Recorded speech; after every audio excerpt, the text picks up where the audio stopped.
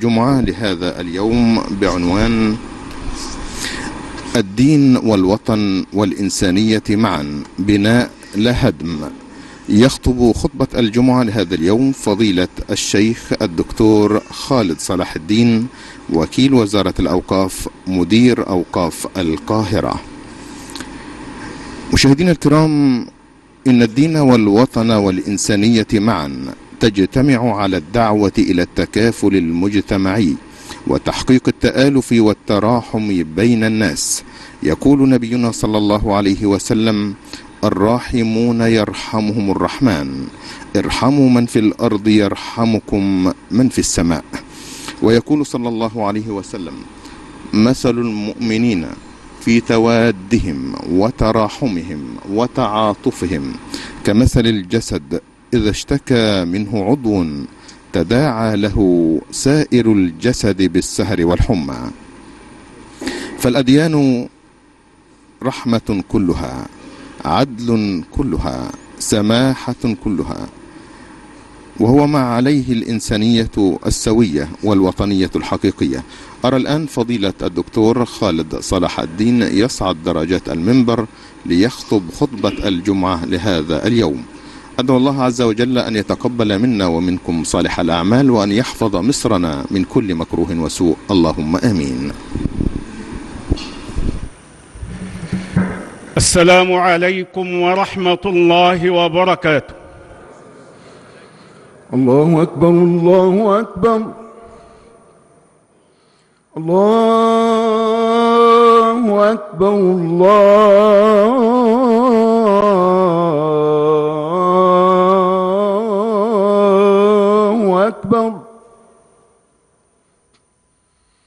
أشهد أن لا إله إلا الله.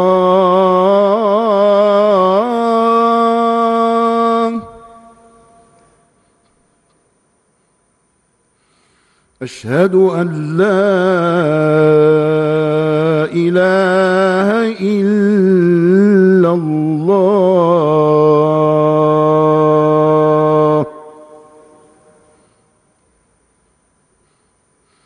أشهد أن محمد رسول الله.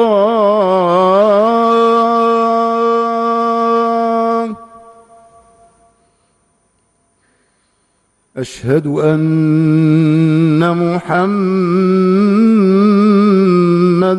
رسول الله.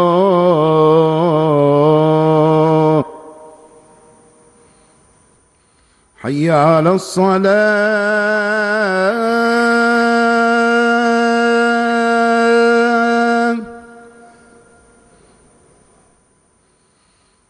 حي على الصلاة.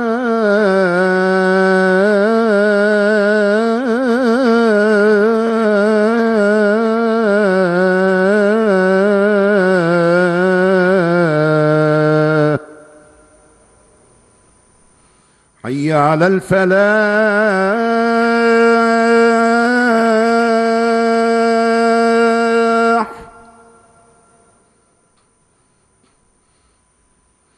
حي على الفلاح.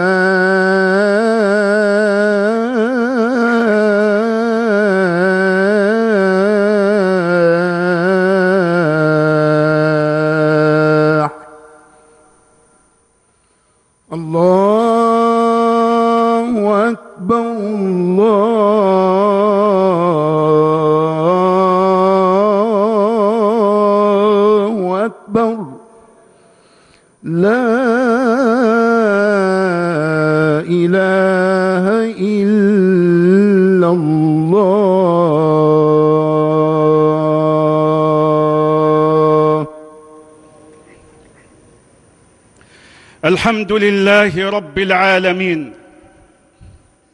رب الأرض والسماء. خلق آدم وعلمه الأسماء.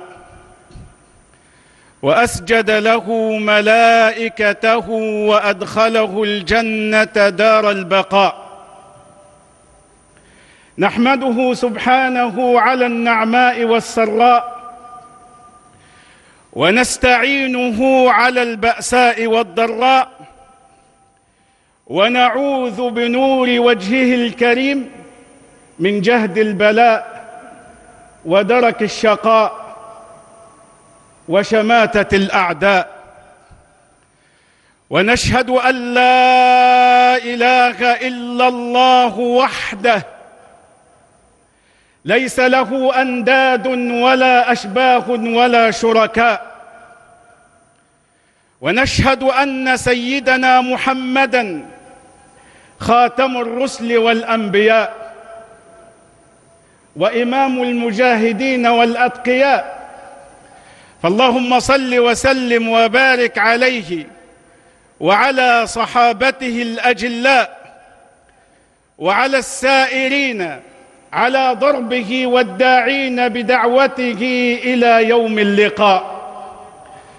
ورضي الله عن سيدتنا نفيسة وعن آل بيت سيدنا رسول الله الطيبين الأنقياء.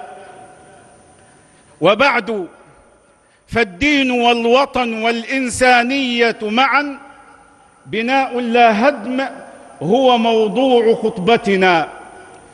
تعالوا بنا لنرى كيف يكون ذلك كذلك.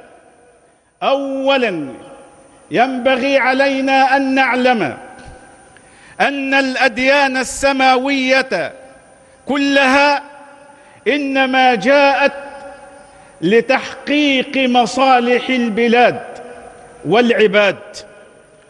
وكما يقولون فحيثما تكون المصلحة فثم شرع الله الحنيف.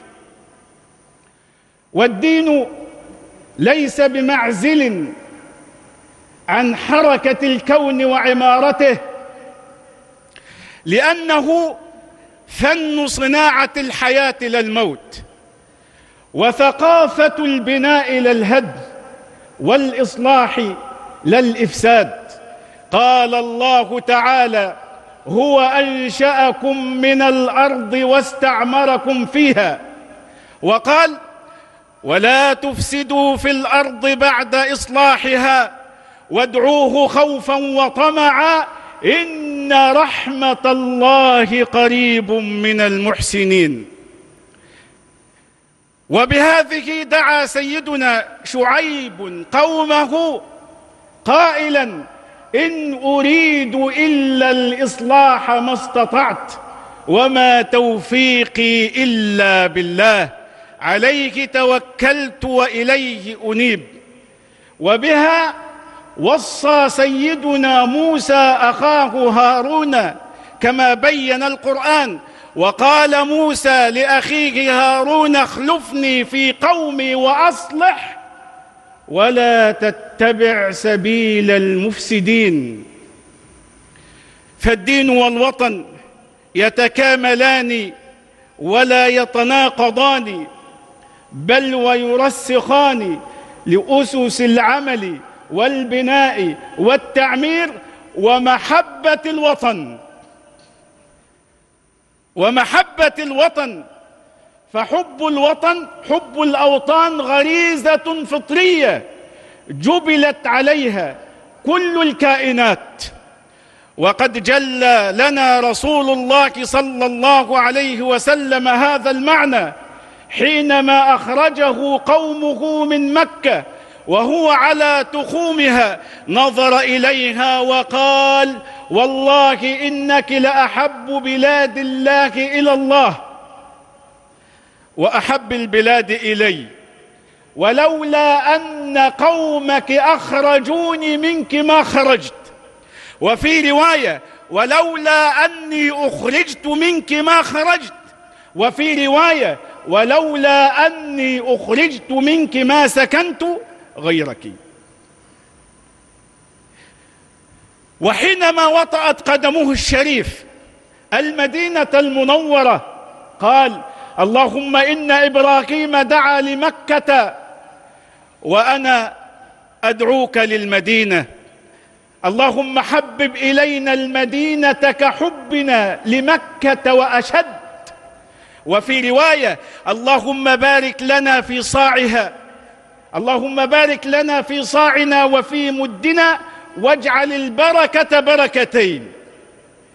هذه هي الترجمة العملية لمحبة الأوطان. إن محبة إن محبة الأوطان لا تكون بالكلام ولا بالشعارات وإنما تكون بالتطبيق العملي بالعمل والإنتاج والإتقان والإخلاص والعمل بجد على رفعة راية وطننا الحبيب. وأذكر أن الإمام الحافظ الذهبي عدد لنا جملة من الأشياء التي كان يحبها رسولنا صلى الله عليه وسلم. فذكر أن النبي صلى الله عليه وسلم كان يحب جبل أحد وكان يحب وطنه. كان يحب جبل أحد قطعة من أرض وطنه. وكان يحب وطنه صلى الله عليه وسلم. ثانيا أو ثالثا إن الدين والوطن والإنسانية معا تجتمع على الدعوة إلى التكافل الاجتماعي وإلى التآلف والتراحم بين الناس. لا بين المسلمين أو المؤمنين. هذا هو ديننا الحنيف. يقول سيدنا عبد الله بن سلام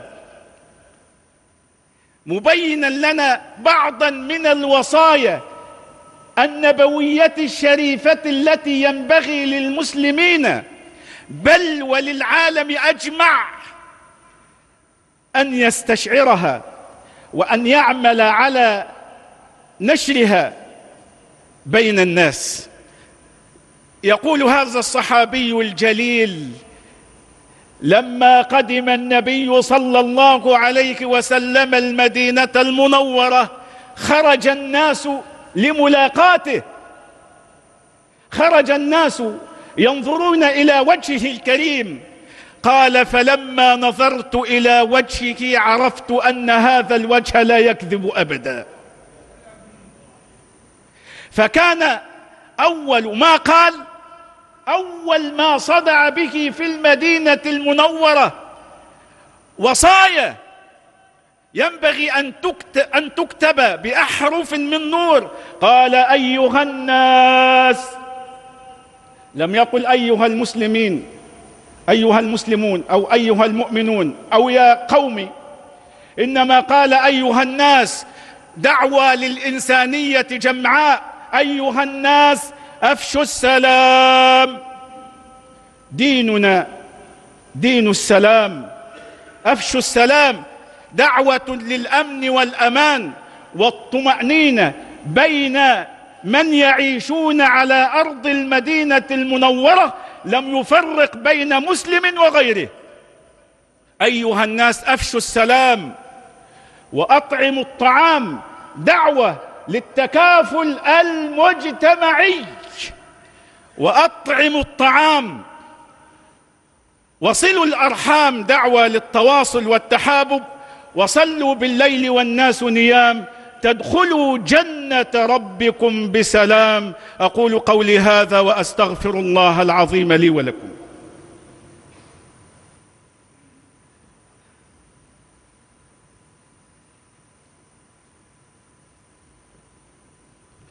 الحمد لله رب العالمين وأشهد أن لا إله إلا الله ولي الصالحين ولي المؤمنين ولي المتقين وأشهد أن سيدنا ونبينا وحبيبنا ومعلمنا سيد الدنيا ومن فيها محمد رسول الله. اللهم صل وسلم وبارك عليه عدد خلقك ورضا نفسك وزنة عرشك ومداد كلماتك وعدد من صلى عليه وعدد من لم يصل عليه. أما بعد أيها المسلمون إن الترجمة الحقيقية للدين والوطن والإنسانية لتدعونا إلى تحقيق التعايش السلمي والتسامح بين الناس جميعا. فحفظ الأوطان من مقاصد الأديان وحفظ النفس الإنسانية وحفظ كرامتها من مقاصد من مقاصد ديننا الحنيف. قال الله تعالى ولقد كرمنا بني آدم على العموم على الإطلاق وحملناهم في البر والبحر ورزقناهم من الطيبات وفضلناهم على كثير ممن خلقنا تفضيلا. فالأديان رحمة كلها عدل كلها سماحة كلها يسر كلها لمن وعاها وطبقها تطبيقا حقيقيا كما ينبغي. أيها المسلمون ما أحوجنا في أيامنا هذه إلى الوعي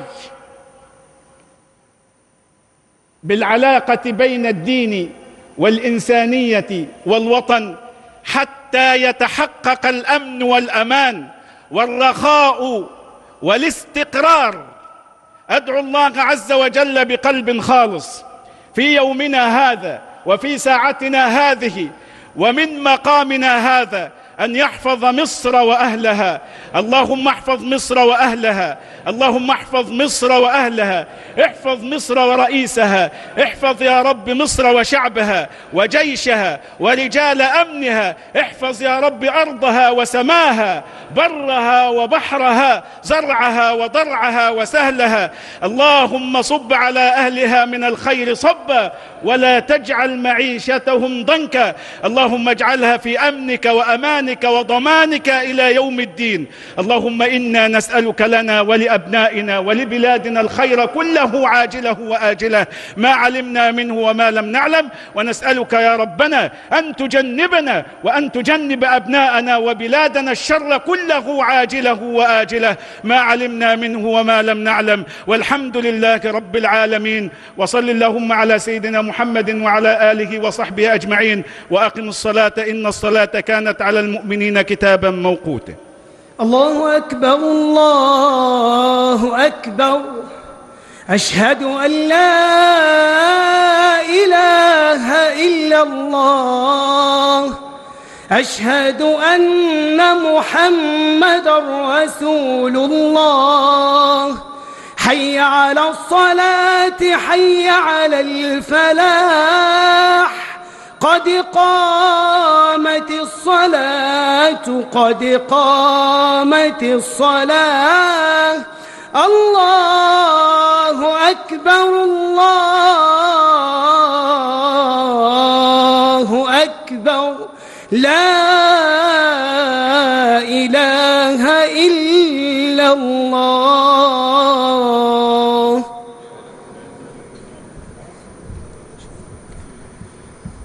لا إله إلا الله حقا وصدقا. استقيموا استووا اعتدلوا أقبلوا على الله بقلوب خاشعة. واعلموا أنه أقرب ما يكون العبد من ربه وهو ساجد. فاسألوا الله ما شئتم لما شئتم واسألوه لي ولكم القبول. الله أكبر.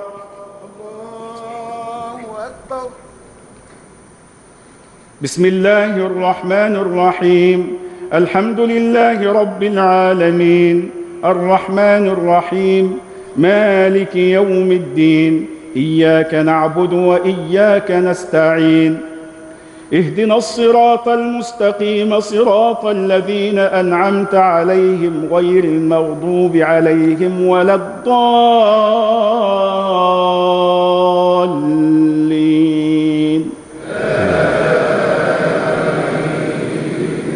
بسم الله الرحمن الرحيم والعصر إن الإنسان لفي خسر إلا الذين آمنوا وعملوا الصالحات وتواصوا بالحق وتواصوا بالصبر.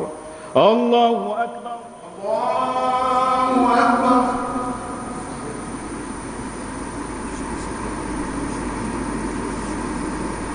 سمع الله لمن حمده. ربنا ولك الحمد.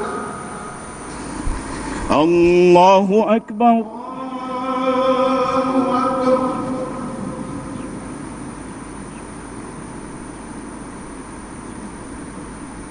الله أكبر.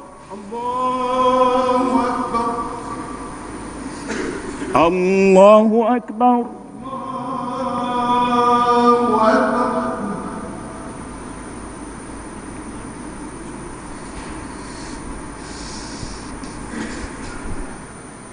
الله أكبر.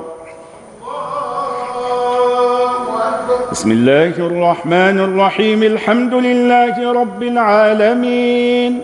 الرحمن الرحيم. مالك يوم الدين. إياك نعبد وإياك نستعين. اهدنا الصراط المستقيم صراط الذين أنعمت عليهم غير المغضوب عليهم ولا الضالين.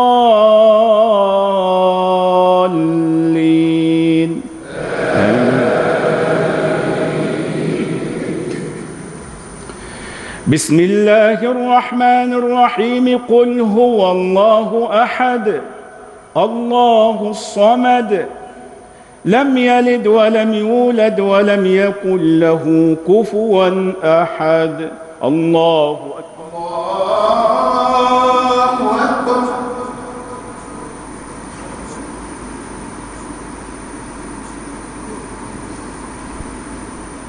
سمع الله لمن حمده.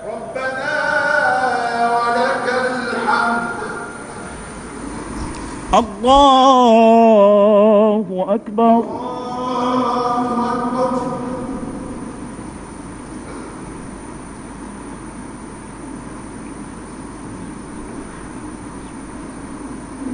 الله أكبر.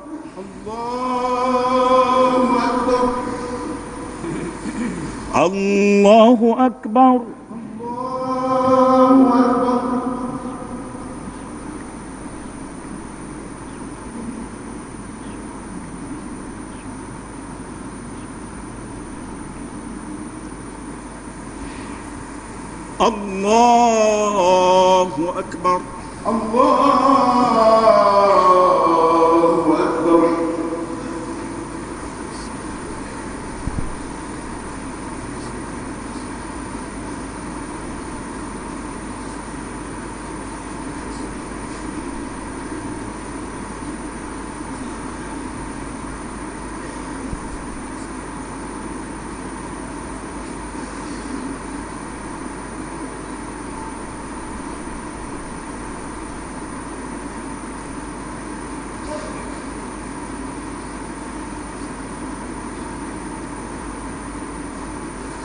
السلام عليكم ورحمة الله.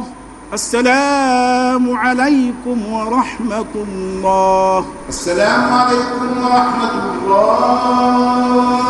السلام عليكم ورحمة الله.